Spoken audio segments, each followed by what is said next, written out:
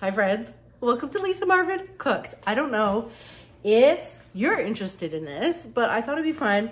My first passion has actually was actually cooking, and over the years I've kind of tried and tested so many recipes and have come up with my favorite ones that work uh, for my family, and they're usually super easy, but like for me and people I know, super delicious. Uh, so I figured I'd share. I don't know if anyone would be interested but I'm going to make some cabbage borscht today. And I thought I'd take you along and see if you wanted to try it too. So let's cut up some veggies. Cut up um, half my cabbage. I'll show you what you're looking for. And again, you know what? You really don't have to be precise. Um, let's just finish cutting this guy and then we will start. I love doing things that are one pot and easy. And luckily, Elliot loves soups and stews, as do I. So I thought this would be fun. Okay, so we have that put away. Okay, so normally you might want to cut these small, but Elliot loves big chunks of carrot. So I'm not going to cut them as small, but this is how we're gonna cut them.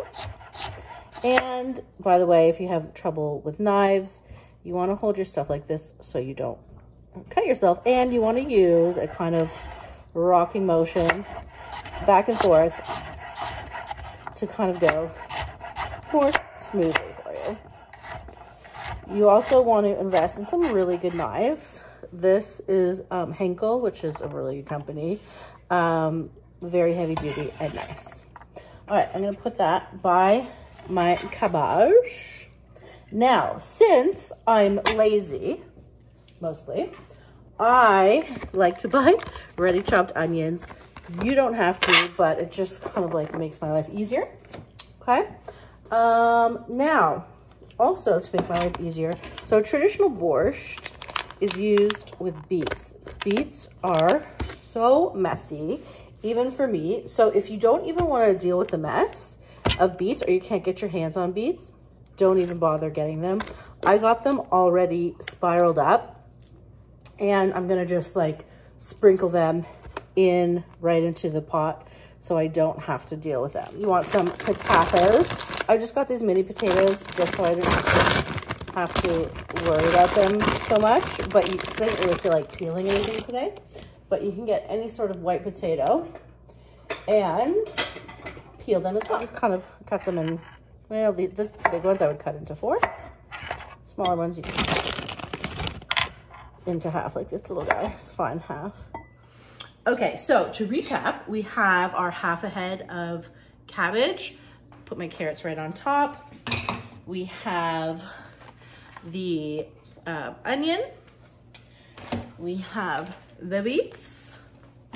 We have the patates, all right? Um, the other ingredients that we're gonna be using is, now not all borscht, again, this isn't gonna be traditional, um, but I like some beef in my borscht. So I got some beef cube. You can really use any beef that's available to you. We're gonna be using some tomato paste to make it tomatoey. I have beef broth. Now you can use chicken stock or whatever you want, but I have beef beef today. Now remember, this is all about like, it's not gonna be bad whether you use chicken or beef, doesn't matter. It's really about um, using what you have and making it easy. Another thing that makes my life easy is already peeled um, garlic. Again, if you're not lazy like me, you can get whole heads of garlic. So what we're gonna do is I'm going to actually, these are like big chunks. I'm gonna cut these chunks into smaller chunks. I, I shouldn't use the word chunks. Smaller pieces. We're gonna heat it up, get it nice and brown. I'm gonna remove the meat, okay, once it's brown for a little bit. That's when I'm gonna add all my veggies to get nice and warm and relaxed and merry together, okay? Then I'm gonna add my tomato paste, make it really nice and tomatoey. Then I'm gonna add my stock add the meat back in, add some spices, and like let it sit. And at the end, the thing that I love mo most about cabbage rolls is the bitter, not bitter, um, sour sweet. So that's when you add a bit of vinegar and a bit of sugar to your taste. And then we'll have a delicious soup. So let's do it. I was just cutting the meat. I just wanna give you a little tip. When you're cutting meat, and if you wanna make it less chewy and nicer, cut it against the grain. So you can see the grains going this way. So when I'm cutting my meat, I'm cutting it like an X to the grain like that. So it makes your pieces less chewy and more melty in the mouth. Okay, so I have my hot, my pan getting hot. I'm just finishing cutting up the pieces. Sneakers is waiting on the floor for all the things that I'm definitely gonna drop. That's why he loves cooking with me. And then I'm just gonna put like a tablespoon of oil. And I don't mind if the meat sticks a little bit and you get those delicious brown bits because that's what's gonna make your soup ultra delicious. So for me, olive oil is really important and getting like a good quality olive oil is very important. So it might be something that you want to invest in. They are more expensive, of course. Yeah, you want to hear that nice sizzle? Now, you don't want to stir right away. It will not stick to itself when it's ready to move. You want to season every stage.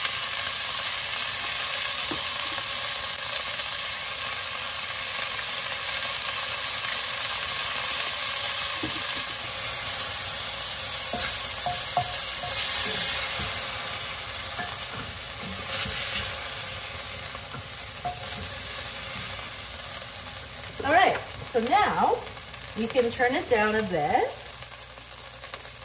and we are gonna add our cabbage.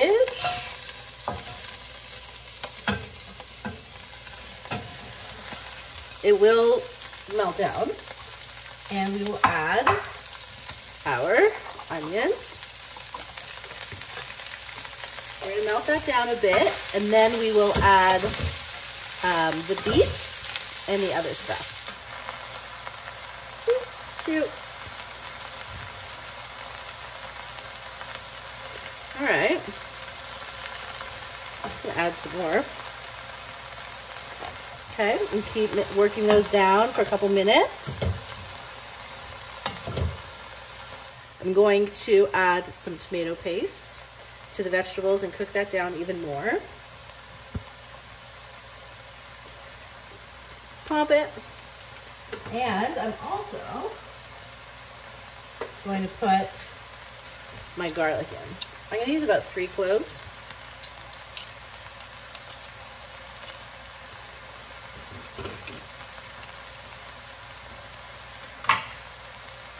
If you want it even more tomatoey, which I might, uh, you might add a bit of tomato sauce.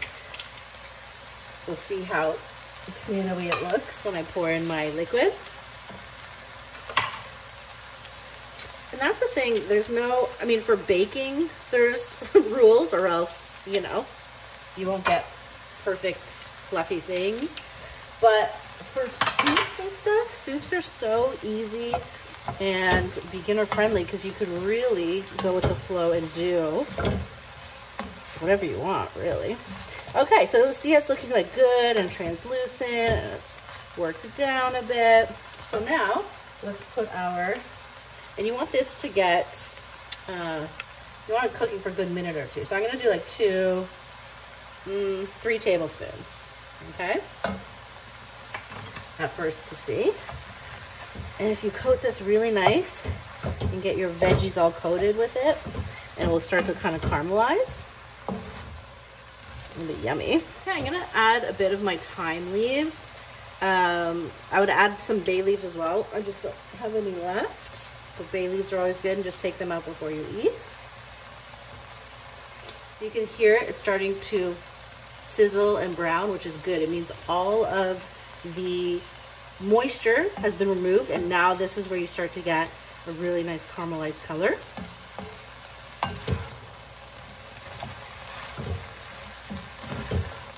There we go.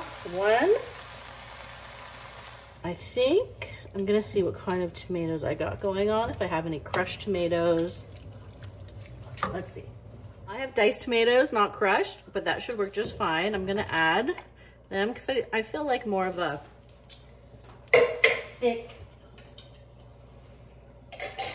thick situation today. Let's see. Yeah, see, it's gonna be really sticking to your ribs. You know what I mean? Let me add the meat in first. Okay. Add the patatas in. So let's bring this to a boil and then we will let it simmer for a couple hours and check back in on her. Found my bay leaves, so I'm gonna put in, um, I'll put my camera down. I'll put in three. Oh, here we go. One, you get the picture. Two, By the way, sometimes when you use the meat, you might want to skim a bit of this stuff that comes up. Hi guys. Um, Just you, you know, chilling. welcome, to say welcome to our first cooking video. Welcome to Lisa Marvin Cooks. That's what I called. That's what I called it too. So yeah, we're just skimming the top. Okay, it's looking good. It's been a few hours. I'm gonna take just some white sugar. Let's do a tablespoon. Okay, and then I'm gonna do a tablespoon of vinegar. Mix it around, and then we will. And then we will create our toppings. My favorite herb ever is dill. And we don't really need that much. So I'm just gonna like cut off the tops like that. And again, we're using the sawing motion to make little thin slivers. And then all you need after that is some sour cream. Okay, let's ladle her up. I'm gonna start with all the thick goodness. Mmm. You wanna remove these leaves because they don't taste very good. Let's get some of that soup. I'm so excited. And then we'll top it off with the best part. See how it tastes.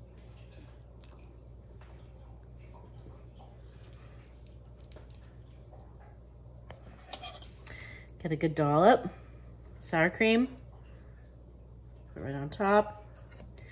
Take a little sprinkle of dill. Mmm, can't wait to try. We're not eating paint, right? Okay, the soup expert is gonna tell you. I am a soup expert. I love Yes. soup. I'd eat it for every meal if I could. He's a soup guy for sure. So- And um, I like to serve it with some sourdough bread to dip, which is always delicious. But let's just do it without the bread. Hold on, do we blow like we blow in, in the fluid art? Yeah. What, what do I get? Get it? You Yeah, my okay. joke? No. Okay, Okay, on. make it blue. Okay. okay, ready? yeah. Okay. That's actually really delicious, babe. I know. So it's like kind of sweet, and like it has the balance of the. No, man, I'm, I'm like, Sour? forget about this video. This is good. He likes the soup. So Yeah, I like the sweet really and the and the sour. And I like my chunky veggies. Chunky veggies. I told you. Try it. It works. And make sure, uh, chunky, but like, make sure they cook. She knows. She's learned. Do you know what? I also really like the um, sour cream on top of this.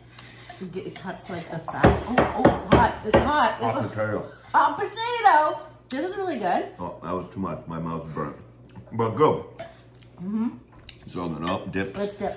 We got dip. All right, cheers. Cheers. I was just don't worry. Well done, man. No, it's not well. Mmm. Okay. Delicious, babe. Big two thumbs up. Let me know if you're gonna make it too. Bye, guys. Hi guys, I'm trying Okay, to dip. off. Yeah, dip it in. I'll give you a spoon. Okay, I'm dipping the bread in. Mmm, good. Mmm. Thank you, this is good. You like? You do. Here, have some soupy. Ready? Mm. Mm, You like it? yeah.